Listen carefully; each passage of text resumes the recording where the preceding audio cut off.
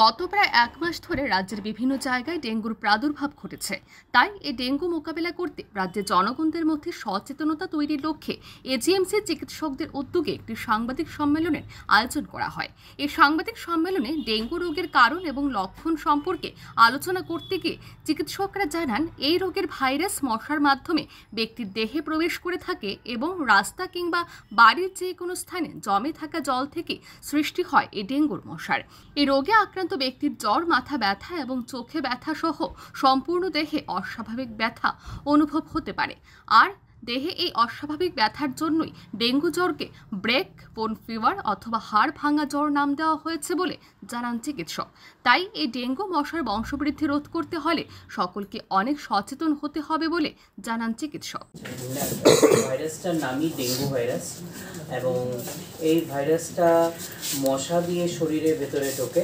মশার যখন কামড় হয় কামড় দেয় তখন ভাইরাসটা শরীরের ভেতরে ঢুকে ঢুকে ব্লাডের মধ্যে যায়। তো প্রথম যে সিমটমটা হয়, সেটা হচ্ছে জ্বর এবং জ্বরটা কিন্তু হাই গ্রেড ফিভার হয়।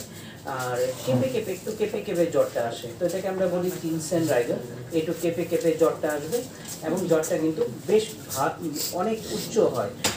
একশো দুই, একশো তিন ডিগ্রি ফারেনহাইট মতো জ্বরটা হতে পারে। আর জ্বরের সাথে যেই সিমটমটা সবচেয়ে বেশি ইম্পর্টেন্ট আমরা যেটা ডাক্তারদের ডাক্তাররা যেটা জিজ্ঞেস করি, সেটা যে চোখের পেছনে ব্যথা হবে, এটাকে বলে রেট্রো অরবাইটাল পেইন অরবিট মানে চোখ রেট্রো মানে পেছনে। তো চোখের পেছনে পেইন হবে, এটা একটা খুব ইম্পর্টেন্ট সিমটম কিন্তু। তার সাথে হবে হেডেক মাথা ব্যথা হবে।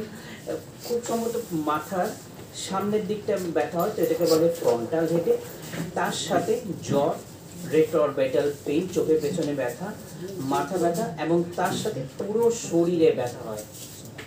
এবং সেই ব্যথাটা কিন্তু প্রচণ্ড সিভিয়ার হয়, যার জন্য ডেঙ্গুকে আরেকটা নাম যেটা দেওয়া হয়েছে সেটাকে বলে ব্রেক মানে বর্তমানে রাজ্যের বিভিন্ন জায়গা থেকে আসা মোট বত্রিশ জন ডেঙ্গু আক্রান্ত রোগী রাজধানীর জিবি হাসপাতালে ভর্তি রয়েছেন। তবে সেই সকল রোগীদের মধ্যে কারোর শারীরিক অবস্থার তেমন কোনো অবনতি ঘটেনি। তাই আগামী কিছুদিনের মধ্যেই ওই সকল রোগীরা হাসপাতাল থেকে বাড়ি ফিরে যেতে পারবেন বলে জানান চিকিৎসক। Bureau report. আর ই নিউজ